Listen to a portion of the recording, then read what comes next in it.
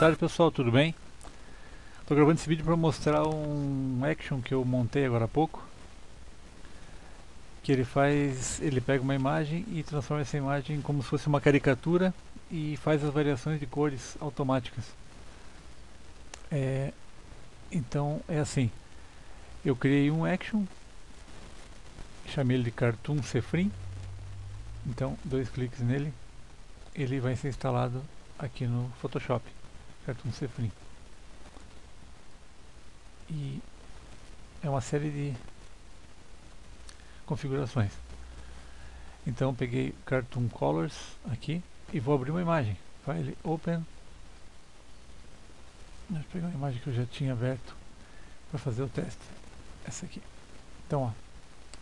Tem imagem aqui. Como funciona? Cartoon Colors dá o play. Ele vai fazer o ajuste vai pedir para você ajustar fazer o ajuste fino de como você quer que fique a, a imagem. Vou deixar assim. Confirmo ok? É, note ele vai fazendo as camadas vai aplicando as variações de cor.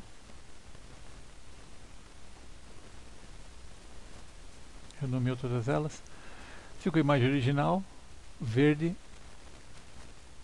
amarelo vermelho roxo azul ciano red full black white light e blur então quero usar por exemplo essa imagem aqui só selecionar a camada Ctrl A, Ctrl C, Ctrl N Ctrl V.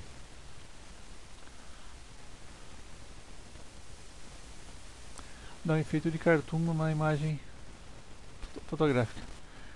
É, eu vou gravar um vídeo depois explicando como fazer, como você gerar o, esses, chegar nesse resultado a partir de uma foto. Era isso, eu queria mostrar esse, esse action como ele, como ele fica. Um abraço, sucesso e boa sorte para todo mundo.